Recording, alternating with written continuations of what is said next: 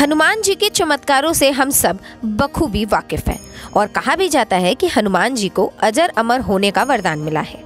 हनुमान जी का चमत्कारी रूप मनुष्य के हर संकट को हरने का दम रखता है। विद्वान कहते हैं कि एक बार अगर हनुमान जी का नाम ले लिया तो समझो सारा डर खत्म हो गया। हनुमान के भक्तों का कोई शत्रु नहीं होता, इसलिए वे आज भी धरती पर विराजमान है। दुनिया भर में महावीर बजरंग बली के कई चमत्कारी मंदिर है, जहाँ लोगों की आस्था जुड़ी है। उन्हीं मंदिरों में से एक ऐसा भी मंदिर है, जहाँ हनुमान जी के भक्तों की मुरादें तो पूरी ही करते हैं, बल्कि उनके होने का एहसास भी दिलाते हैं।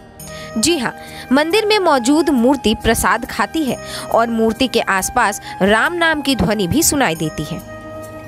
यही चमत्कार मंदिर में हनुमान जी के होने का संकेत देती है।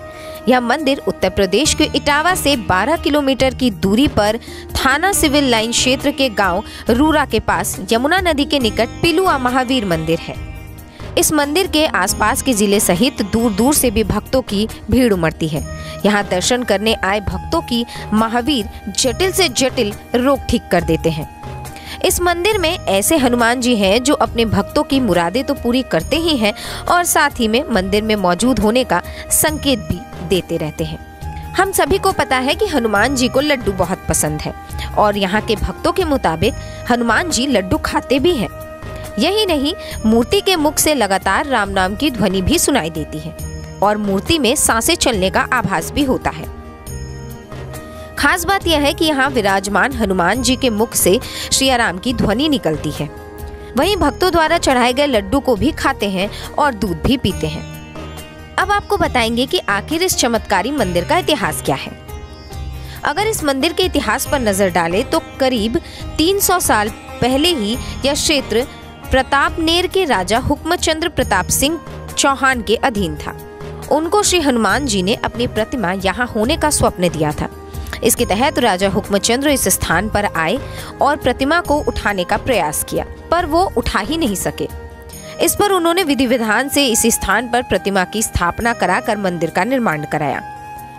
दक्षिण मुखी लेटी हुई हनुमान जी की इस प्रतिमा के मुख तक हर समय पानी नज़र आता है।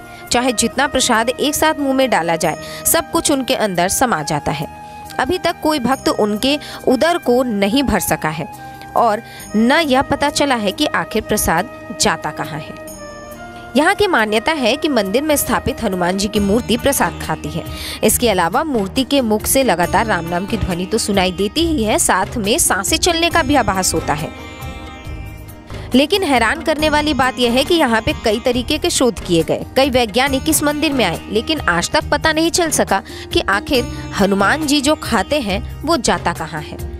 ना ही हनुमान जी के मुख का पानी कम होता है, और ना ही ये अभी तक पता चल सका है कि हनुमान जी को चढ़ाया गया भोग कहाँ जाता है। इसीलिए हर तरीके से ये मंदिर चमत्कारी माना जाता है।